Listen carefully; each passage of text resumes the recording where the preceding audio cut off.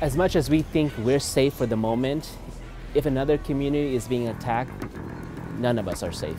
In the beginning of my career, people would ask me, how does your cultural heritage, how does your ethnicity inspire your fashions?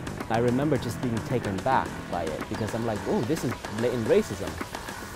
Um, and it would happen over and over and over. The questions were like, is red your favorite color? Do you employ dragons and phoenix on your motifs? Uh, eh, do you love satin?